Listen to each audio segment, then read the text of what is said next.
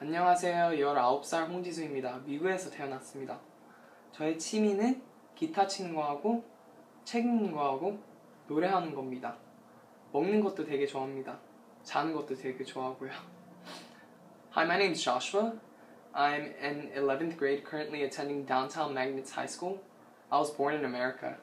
And my hobbies are reading, playing guitar, and singing. I also like to eat and sleep. Thank you. 감사합니다. 소리 들어 넘는 세상 속에 다리 좀 물고 해가 뜨는 서러움 한 달도 한 시도 못 살 것 같더니 그저 이렇게 그리워하며 살아 어디서부터 잊어갈까? 오늘도 기억 속에 네가 찾아와 하루 종일 떠들어.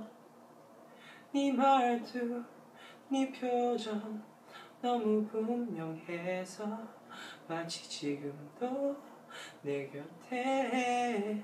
네가 사는 것만 같아 사랑인걸 사랑인걸 지원해도 사랑인걸 아무리 비워내도 내 안에는 너만 살아 너 하나만 너 하나만 기억하고 원하는 걸 보고픈 너의 사진을 꺼내어 보다 잠들어 어.